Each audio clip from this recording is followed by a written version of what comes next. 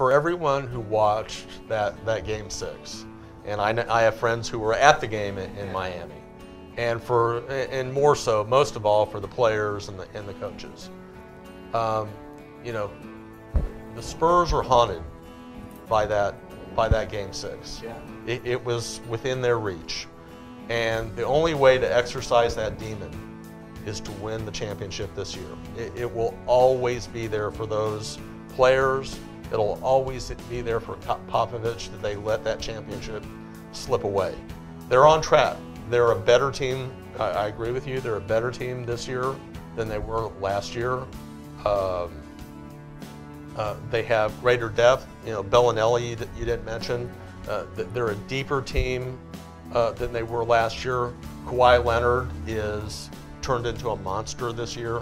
Yeah. Um, he, he has he's elevated his game. Patty Mills has elevated his game. Um, they're a better team, but they're also a year older.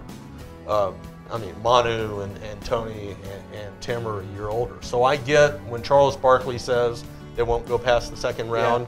I understand what he's saying. If they start getting dinged up, then it Then they're done. then, then it's a problem. It'll be a problem when they meet Oklahoma City. Yes. Um, you know, I, I think they can run through everyone else, even, you know, even sitting a couple of those guys. The mm-hmm. Spurs were that good this year.